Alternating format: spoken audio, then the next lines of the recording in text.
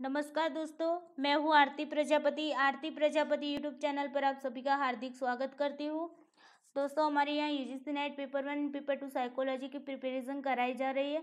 आज का जो हमारा यूनिट है, वो पेपर वन का है ओके तो आज हम देखने वाले हैं डाटा इंटरप्रिटेशन के बारे में। और वो भी ट्वेंटी नाइन सितंबर टू थाउज़ेंड ट्वेंटी को पूछा गया है, ये डाटा इंटरप्रिटेशन के क्वेश्चन तो चलिए दोस्तों, देर ना करते हुए वीडियो की वीडियो को लाइक कर दीजिए, अपने दोस्तों को भी शेयर कर दीजिए, ताकि उनकी भी हेल्प हो जाए और इस चैनल को सब्सक्राइब कर लीजिए, ताकि इस चैनल पर जो भी वीडियोस डाले जाते हैं, उसकी नोटिफिकेशन आपको टाइम पे मिलती रहे। चलिए दोस्तों, चलते हैं क्वेश्चन की ओर। सबसे पहले हम यहाँ पर सूचना रीड कर लेते हैं, उसके बाद हम क्वेश्चन को देखते हैं। निम्नांकित तालिका में किसी शहर के तीन अस्पतालों में भिन्न भिन्न रोगों के रोगियों की मासिक जानकारी दर्शाई गई तालिका में दिए गए आंकड़ों के आधार पर प्रश्नों के उत्तर दे।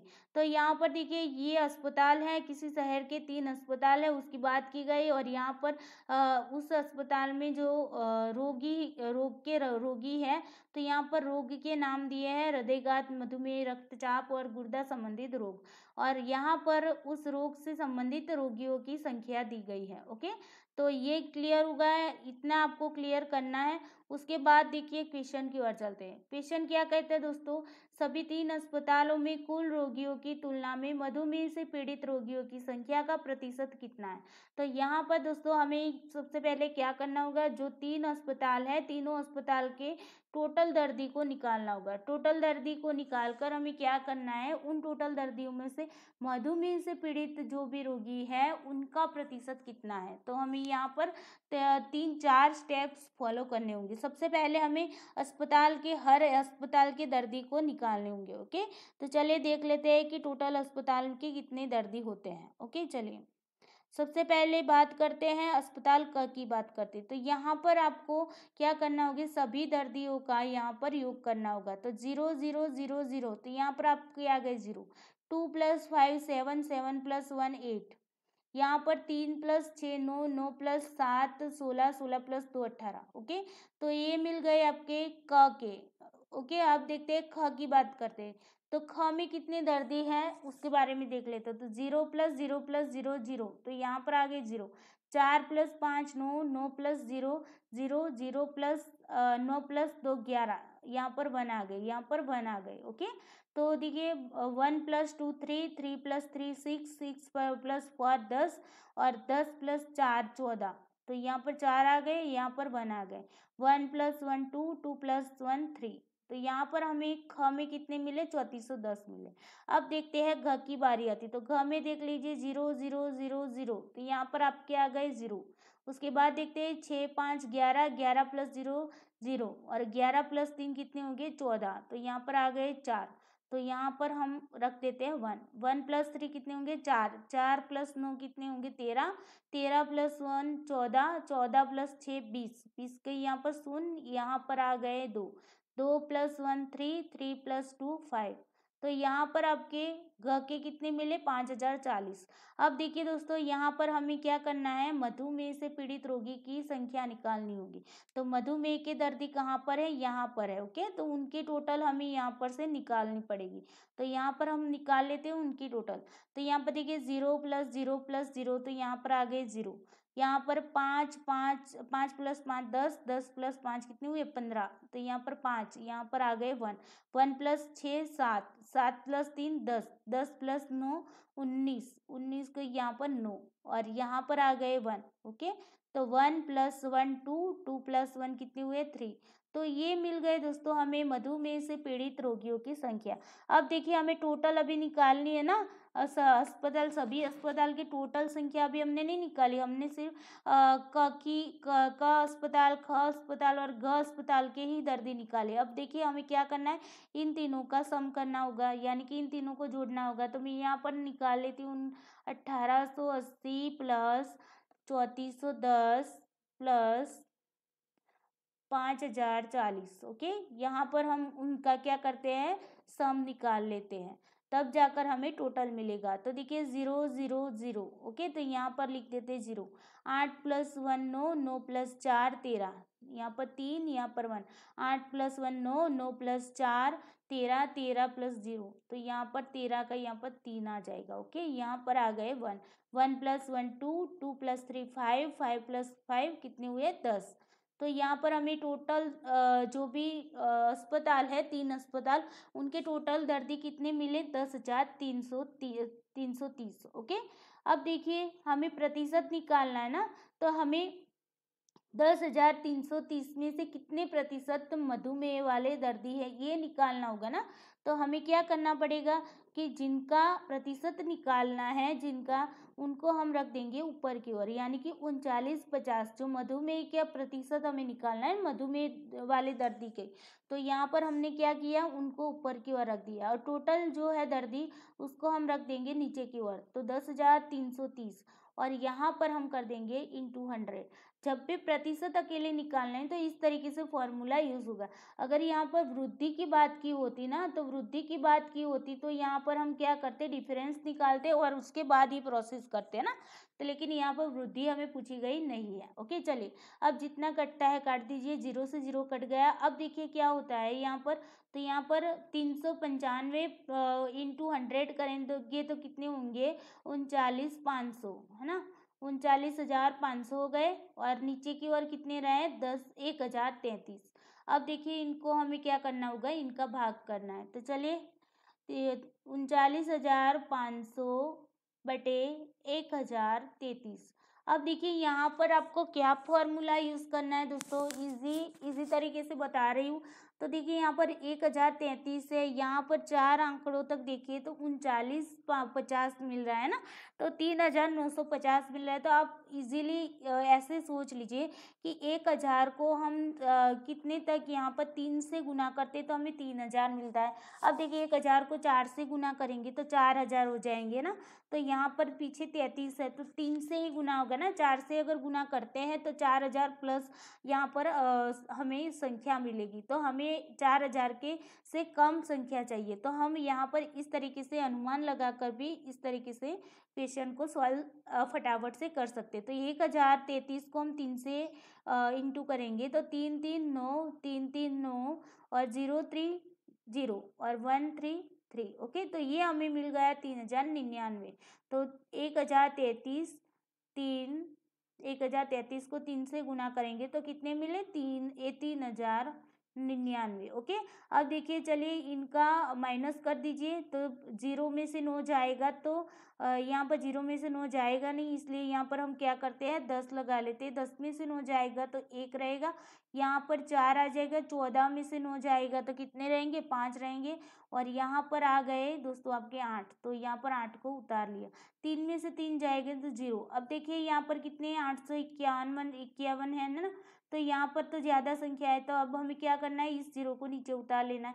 अब फिर से वही फॉर्मूला यूज़ कीजिए कि एक हज़ार को कितने से गुना करेंगे तो आठ हज़ार मिलता है। तो आठ से गुना करते तो हमें आठ हज़ार मिलता है ना? तो हमें यहाँ पर एक हज़ार तैंतीस को आठ से गुना कर दीजिए। आठ तीन चौबीस यहाँ पर दो आ गए, आठ तीन, चौबीस चौबीस दो, छब्बीस, यहाँ पर दो आ गए, यहाँ पर ज़ीरो आठ ज़ीरो हो जाएँगे और दो यहाँ पर उतर जाएँगे। अब देखिए आठ एक आठ, ओके? तो यहाँ पर हमें आंसर मिल गया बयासी चौंसठ। तो यहाँ से हमें आंसर मिल गया आठ। तो एक हज़ार तैंतीस को आठ से इंटू गुना करते हैं तो यहाँ पर बयासी चौंसठ मिल गया।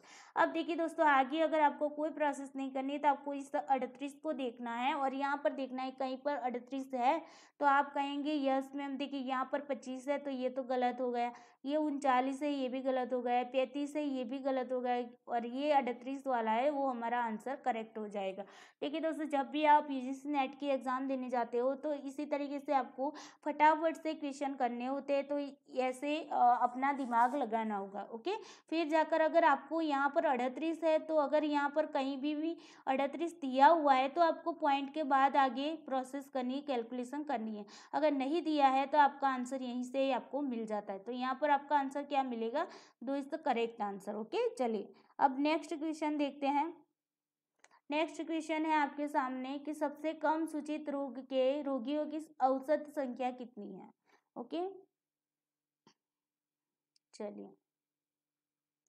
तो यहाँ पर सबसे कम सूचित रोग के रोगियों की बात की गई और औसत संख्या पूछी गई ओके तो सबसे पहले हमें क्या करना पड़ेगा? यहाँ पर हमें सभी रोग जो है उसकी आपको क्या करना होगा? कैलकुलेशन बताना, करना होगा कि सभी अस्पतालों में कितने कितने कौन से रोग के रोगी है। तो यहाँ पर देखिए, हमने मधुमेह की तो निकाली हुई थी, है ना? तो आपको फिर से नहीं निकालनी होगी, वहाँ से ही आप उसकी आंकड़े ले सकते हैं। तो मधुमेह के कितने मिले थे? उनचालीस, पचास मिले थे। तो हम यहाँ पर फिर से कैलकुलेशन नहीं करेंगे और यहाँ पर ऐसे ही रख देंगे उनचालीस पचास, क्योंकि यू से नेट के एग्ज़ाम में जब जाएँगे तो इस तरीके से बारी बारी से आपको कैलकुलेशन नहीं करनी ओके चलिए ज़ीरो ज़ीरो ज़ीरो तो यहाँ पर आ गए आपकी ज़ीरो यहाँ पर दो, चार कितने हुए? छः छः छः, बारह बारह का यहाँ पर दो, यहाँ पर one three one four four two six six plus three कितने हुए हैं? नो ओके उसके बाद देखते हैं तो यहाँ पर देखिए ऐसे छोटे बच्चों की तरह हमें कैलकुलेशन नहीं करनी चाहिए, लेकिन जिन बच्चों को नहीं पता चल रहा है, इसके लिए मैं यहाँ पर ऐसे कैलकुलेशन कर रही वरना आप ऐसे ही यहाँ पर देख सकते हैं कि चौदह सौ प्लस सात सौ कितने होंगे, इक्कीस सौ होंगे, इक्कीस सौ प्लस इक्कीस सौ कितने होंगे, चवालीस सौ होंगे, है ना? बयालीस सौ होगी सॉरी बयालीस सौ, है ना? तो यहाँ पर आपको ऐसे ही मिल जाता है कि ये बयालीस सौ हो गए, है ना? फिर यहाँ पर भी देख सकते हैं, दो सौ दो सौ दस प्लस चार सौ बीस तो कितने होंगे? चार सौ तीस और छः सौ छः सौ तीस। छः सौ तीस प्लस छः सौ तीस कितने होंगे? छः सौ छः सौ बारह बारह सौ बारह सौ साठ हो जाएगी, ओके? तो यहाँ पर आपका आंसर क्या हो गया? बारह सौ साठ ओके? इस तरीके से फटाफट से कैलकुलेशन करने की आदत डालनी चाहिए। चले अब देखिए यहाँ पर क्या बताया गया कि सबसे कम सूचित रोग तो यहाँ पर सबसे कम कौन से रोगी रोगी है? तो हृदय घात वाले जो रोगी है वो सबसे कम है। अब देखिए इसके औसत आपको निकालना है तो यहाँ पर देखिए 920 आपको टोटल मिले हैं हृदय रोग के दर्दियों की। अब देखिए कितने अस्पताल के होकर है? तो एक दो तो, तीन है ना? तो हम तीन से तीन से इसे क्या करेंगे? डिवाइडेड करेंगे। तो नौ सौ बीस डिवाइडेड थ्री तो देखिए थ्री थ्री नो, यहाँ पर ज़ीरो आ गई, ऊपर से उतार लो दो। अब देखिए, यहाँ पर ज़्यादा है तो ऊपर से उतार लो ज़ीरो यहाँ पर ज़ीरो रखना पड़ेगा। क्यों? क्योंकि यहाँ पर देखिए आगे भाग नहीं चल रहा था, इसीलिए हमने यहाँ पर उतारा तो ऊपर की ओर भी आपको रखना पड़ेगा, ओके? तो ऐसे अगर आपको इस तरीके से डिवाइडेड नहीं करना है तो इजी वे से भी आप यहाँ पर सोच सकते हो कि नौ सौ बीस है तो उसका तीन तीन से किस तरीके से हो सकता है, ओके? लेकिन हम इस तरीके से करते हैं। तो देखिए तीन तीन को छः से छः, तीन अट्ठारह हो गए तो यहाँ पर बीस में से अट्ठारह जाएँगे तो दो रहेंगे। अब देखिए आगे कुछ भी नहीं है तो पॉइंट लगा लो, यहाँ पर ज़ीरो रखकर ज़ीरो उतार लो, छः तीन अट्ठारह अब देखिए बीस और अट्ठारह का मेल बहुत अच्छा हो गया है और उनकी दोस्ती बहुत अच्छी हो गई। तो आप चाहे कितना भी कर लो, उन लोगों को, इन दोनों को आप अलग नहीं कर पाएँगे। ये जो फॉर्मूला है, वो ऐसे ही चलता रहेगा बीस अट्ठारह का, ओके? तो इस तरीके से बीस अट्ठारह आपको यहाँ पर ऐसे ही चलता रहेगा। तो यहाँ पर आपका आंसर क्या बन रहा है दोस्तों? तीन सौ छः पॉइंट छः आपको जितने पॉइंट के बाद जितने भी अंक दिए हैं, उतने तक ही आपको यहाँ पर कैलकुलेशन करनी है। तो यहाँ पर आपका देखिए फॉर्म में आपको आंसर मिल रहा है तीन सौ छः पॉइंट छः ओके आई होप आपको अच्छे से समझ में आ गया होगा। चलिए, अब नेक्स्ट क्वेश्चन की ओर चलते हैं और देखते हैं। थोड़ा सा रुकिए। मैं लैपटॉप को चार्जिंग लगा लेती हूँ ओके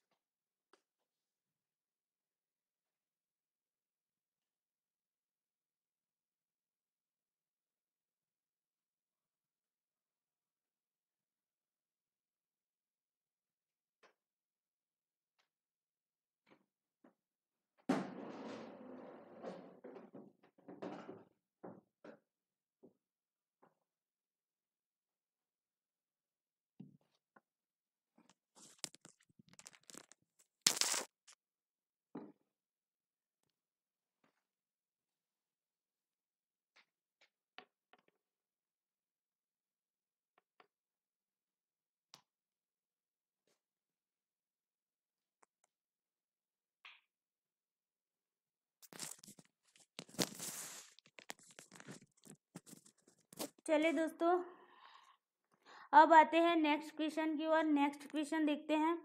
तो क्वेश्चन क्या कह रहा है? देखिए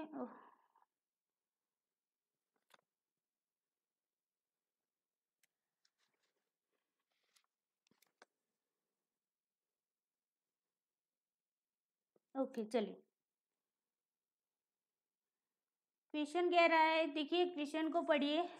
अस्पताल का की तुलना में हृदय हृदय घात के रोगियों की प्रतिशत वृद्धि कितनी? देखिए, यहाँ पर थोड़ा सा प्रिंट मिस्टेक हो गया है, यहाँ पर क्वेश्चन है।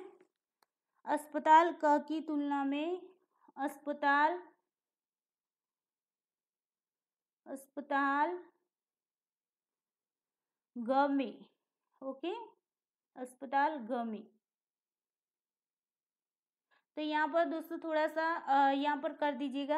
अस्पताल क की तुलना में अस्पताल घ में हृदय हृदय घात के रोगियों की प्रतिशत वृद्धि कितनी है?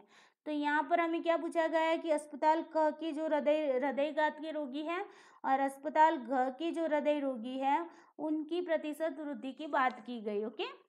तो चलिए, प्रतिशत वृद्धि जब भी आपको पूछी जाती है, तब मैंने आपको क्या बताया, सबसे पहले आपको जो भी दो संख्या दी हुई होती है, उसका आपको क्या करना होगा, उसका आपको डिफरेंस निकालना होगा। तो यहाँ पर हमें क और घ की संख्या क्या मिल रही? तो क की है तीन सौ बीस और घ की क्या है? तीन सौ साठ। तो इन दोनों का आप डिफरेंस निकालेंगे तो यहाँ पर तीन सौ साठ माइनस तीन सौ बीस तो कितना मिलेगा? चालीस डिफरेंस मिल रहा है ना? तो अब देखिए, क्या करना है? प्रतिशत वृद्धि निकालनी है तो हमने पहले डिफरेंस तो निकाल लिया तो डिफरेंस को लिख दीजिए ऊपर की ओर। यहाँ पर लिख देती हूँ फोर्टी ओके अब देखिए, वृद्धि किसकी तुलना में हुई? तीन सौ बीस की तुलना में बढ़े ना? तीन सौ साठ हुए तो बढ़े। किसकी तुलना में बढ़े? तो तीन सौ बीस की तुलना में बढ़े। तो जो छोटी संख्या है, उसे आपको लिख दीजिए नीचे की ओर, यानी कि तीन सौ बीस को हम लिख देते हैं नीचे की ओर। इंटू कितने करेंगे? हंड्रेड ओके अब देखिए, जितना कटता है, काट दीजिए। ज़ीरो ज़ीरो कट गया और आठ, चौक बत्तीस हो गए, है ना? तो अब आपको क्या मिले? Hundred in hundred upon eight मिले, है ना? तो अब आपको क्या करना है? सौ को आठ से भाग करना है। तो यहाँ पर हम कर देते हैं, सौ को आठ से भाग कर देते ओके? यहाँ पर हंड्रेड है। तो चलिए, आठ एक आठ हो गए। दस में से आठ जाएगी दो। ऊपर से उतार लो ज़ीरो को, ओके? चलिए, अब देखिए क्या है? आठ, दो, सोलह। तो यहाँ पर आपको कितना मिल रहा है? चार।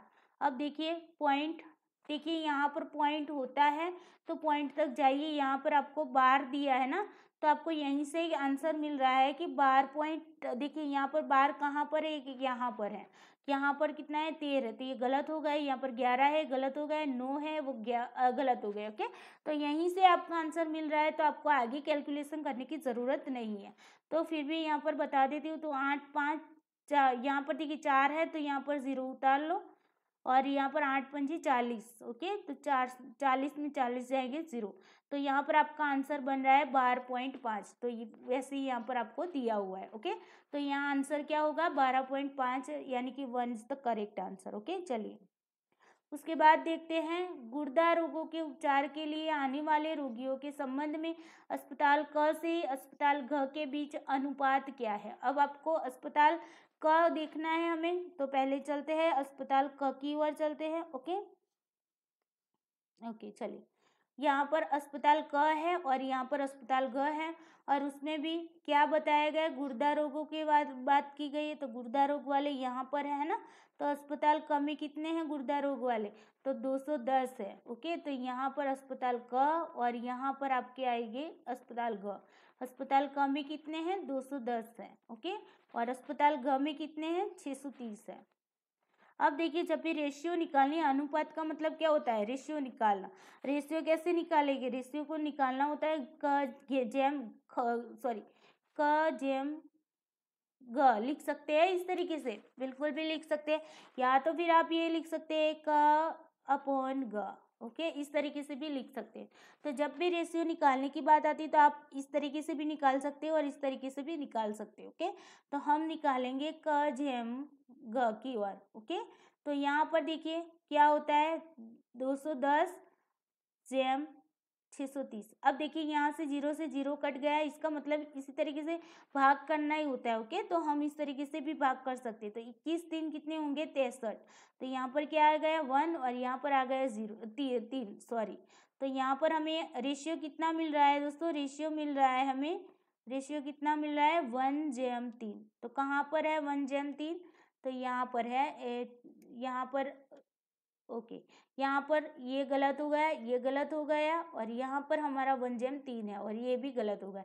तो यहाँ पर तीसरा नंबर का जो आंसर है वो ये करेक्ट है, ओके? चलिए। अब देखते हैं आज का लास्ट क्वेश्चन।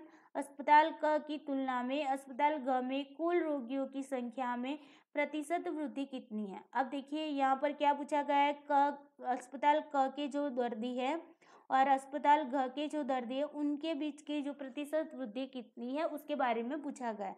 तो अब यहाँ पर क्या करना पड़ेगा? सबसे पहले आपको अस्पताल क के टोटल दर्दी निकालने पड़ेंगे और अस्पताल घ के टोटल दर्दी निकालने पड़ेंगे। अब क्या आप फिर से कैलकुलेशन करेंगे? आपको याद होगा ना, जब हमने आगे किया था कैलकुलेशन तो यहाँ पर हमने क्या किया था दोस्तों? यहाँ पर हमने क और घ क, ख, ग तीनों का निकाला था ना? तो यहाँ से उठा लेना है आपको और कुछ भी नहीं करना। है यहाँ पर अट्ठारह सौ अस्सी है क के और पाँच हज़ार चालीस है कितने? घ के। चलिए लगा लेते हैं।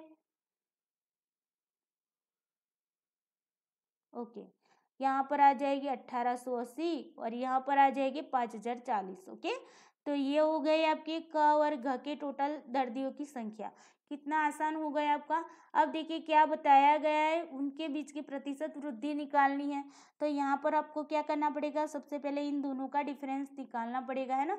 तो चलिए निकाल लेते हैं, पाँच हज़ार चालीस माइनस अट्ठारह सौ अस्सी, ओके? और हमें नीचे क्या रखना है? जो भी जिसकी तुलना में वृद्धि हुई तो अट्ठारह सौ अस्सी की तुलना में तो बड़े है ना? पाँच पाँच हज़ार चालीस जो है वो ज़्यादा है अट्ठारह सौ अस्सी से। तो जो भी छोटी संख्या है उसे आपको क्या करना है? नीचे की ओर रखना है। हमने यहाँ पर रख दिया अट्ठारह सौ अस्सी इंटू हंड्रेड ओके ये फॉर्मूला है आपका प्रतिशत वृद्धि निकालने का। चलिए, अभी इनका डिफरेंस निकाल लेते हैं तो ज़ीरो में से ज़ीरो जाएगा, ज़ीरो। यहाँ पर चार में से आठ तो जाने वाले नहीं तो यहाँ पर ले लीजिए यहाँ पर कर दीजिए चौदह चौदह में से आठ जाएँगे तो कितने रहेंगे? छः ओके? और यहाँ पर आ जाएगी नौ नौ में से आठ जाएँगे तो वन रह जाएगा। और यहाँ पर आ जाएँगे चार तो चार में से वन जाएँगे तो तीन, इकतीस, साठ आ गए, ओके? और अपॉन अट्ठारह सौ अस्सी इंटू हंड्रेड अब देखिए क्या करना है, इनको पहले मल्टीप्लाई कर दीजिए। इकतीस, साठ को मल्टीप्लाई करेंगे तो कितना मिलेगा? इकतीस इतना मिलेगा ओके तो इकतीस साठ को मल्टीप्लाई करेंगे हंड्रेड से तो इकतीस हज़ार सॉरी तीन लाख सोलह हज़ार हमें मिल जाता है ओके चलिए उसके बाद हमें क्या करना है? अट्ठारह सौ अस्सी से उसे क्या करना है? डिवाइडेड करना है। तो चलिए अब यहाँ पर आ, हम उसका क्या करते हैं? भाग कर देते हैं। तो इकतीस साठ ज़ीरो ज़ीरो ओके? और उसको हमें कित किससे करना है? एक सौ एक सौ अट्ठासी। यहाँ पर देखिए ज़ीरो ज़ीरो कट जाएगा सॉरी यहाँ पर ज़ीरो ज़ीरो काट दीजिए ओके? तो अभी यहाँ पर ये ज़ीरो कट गया। तो यहाँ पर कितने रहते हैं? इकतीस तीन हज़ार, इकतीस हज़ार छः सौ रह गए। और आपको किससे डिवाइडेड करना है? एक सौ अट्ठासी से। तो एक सौ अट्ठासी तो अब आपको यहाँ पर क्या करना है? सोचना है। कि एक सौ अट्ठासी है तो हमें हम उसका कितने से गुना कर सकते हैं? तो इसके बराबर हमें कुछ मिल सकता है। तो सबसे पहले एक सौ अट्ठासी को आप क्या करेंगे? अट्ठारह दो करेंगे तो छत्तीस मिलता है ना? अट्ठारह दो छत्तीस मिलता है तो यहाँ पर तो इकतीस है तो ये तो ज़्यादा हो जाएँगे, है ना? तो अब आपको क्या करना होगा? एक से ही इसे इसे क्या करना होगा? मल्टीप्लाई करना होगा। तो यहाँ पर एक से मल्टीप्लाई करेंगे तो आपको क्या मिलेगा? एक सौ अट्ठासी एक एक सौ अट्ठासी ओके अब देखिए, इसको हम बात करते हैं तो यहाँ पर क्या होता है? छः में से आठ तो जाने वाले नहीं। तो सोलह में से आठ जाएगी तो दोस्तों कितने रहेंगे? आठ रहेंगे।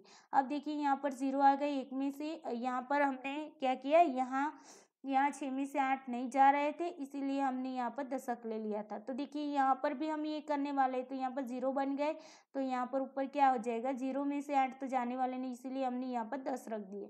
दस में से आठ जाएँगे तो दो रहेंगे और यहाँ पर दो रहेंगे, दो में से एक जाएँगे तो एक एक सौ अट्ठाईस रहा। अब देखिए, एक सौ अट्ठासी तो ज़्यादा है, एक सौ अट्ठाईस क्या है? कम है। तो अब हमें क्या करना होगा? ऊपर से एक ज़ीरो को उतार लेना हमने उतार लिया एक ज़ीरो को, ओके? चलिए, अब देखते हैं अट्ठारह को कितने से आप गुना कर सकते हो कि ताकि आपको आंसर मिल सकता है एक सौ अट्ठासी अट्ठाईस, ओके? तो आप खुद ही सोच सकते हैं कि अट्ठारह को अगर आप अट्ठारह की बात करते हैं पीछे वाले आठ की अभी बात नहीं कर रहे। अट्ठारह को आप कितने से मल्टीप्लाई कर सकते हैं? तो देखिए, यहाँ पर अगर हम बात करते हैं अट्ठारह पंजे कर देते हैं तो आठ पंजे चालीस, यहाँ पर चार और नौ, नब्बे आ गए यहाँ पर, है ना? तो फिर अब देखिए अट्ठारह को हम क्या करेंगे? छः से इंटू कर देते। अगर ऐसा नहीं करना है तो आपको डायरेक्टली क्या करना है? एक सौ अट्ठासी को डायरेक्टली आपको पाँच या छः से गुना कर देना चाहिए ओके तो देखिए, यहाँ पर हम कर लेते हैं पाँच से पहले मल्टीप्लाई करते हैं। तो आठ पंजी चालीस, यहाँ पर चार, आठ पंजी चालीस चालीस, चार चौवालीस चौवालीस, यहाँ पर चार पाँच एक पाँच और पाँच चार कितने हुए? नौ। तो यहाँ पर हमें क्या मिला? नौ सौ चालीस मिला, है ना? तो अभी हमें आगे चाहिए यहाँ पर बारह सौ अस्सी है। तो अभी हम क्या करेंगे? एक सौ अट्ठासी को अभी छः से मल्टीप्लाई करके देख लेते तो आठ छंग अड़तालीस, यहाँ पर चार आ गए। आठ छः अड़तालीस अड़तालीस चार बावन, यहाँ पर दो आ गए और यहाँ पर फाइव आ गए। यानी कि वन इंटू छः तो छः होंगे छः प्लस पाँच कितने होंगे? ग्यारह। तो यहाँ पर ग्यारह सौ अट्ठासी, अट्ठाईस आ गए, है ना? तो ग्यारह सौ अट्ठाईस आ गए। अब दोस्तों, अब यहाँ पर क्या है? बारह सौ अस्सी है।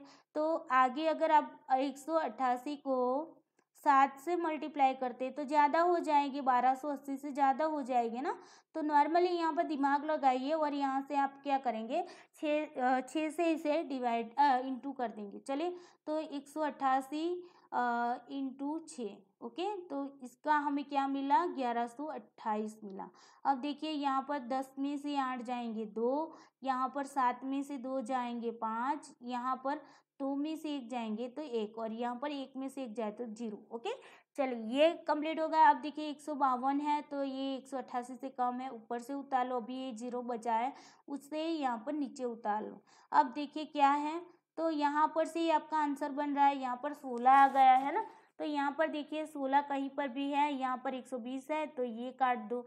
यहाँ पर एक सौ इकतालीस है, ये काट लो। यहाँ पर एक सौ पैंतालीस है, ये काट लो।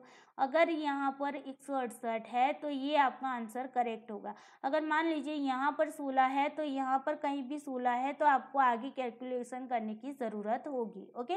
वरना आपको नहीं करनी है। तो देखिए यहाँ पर हम कर देते हैं, यहाँ पर हमने एक सौ अट्ठासी को इंटू आठ से अगर करते हैं, यहाँ के हिसाब से करते हैं तो आठ से आपको मिल जाएगा आठ आठ चौंसठ, यहाँ पर चार, यहाँ पर छः, आठ आठ, चौंसठ चौंसठ, छः, सत्तर, ज़ीरो और यहाँ पर सात, आठ, सात, पंद्रह, ओके? तो पंद्रह सौ चार यहाँ पर मिल जाता है। तो यहाँ पर आपको एक सौ अड़सठ वैसे भी मिल जाता है। लेकिन ज़्यादा कैलकुलेशन करके अपना टाइम वेस्ट नहीं करना है और ऐसे ही इजी वे से आपको क्या करना है आंसर को ढूंढ लेना है, ओके? आई होप आपको यहाँ पर आंसर में कैसे लाया जाता है उसके बारे में अच्छे से समझ में आ गया होगा।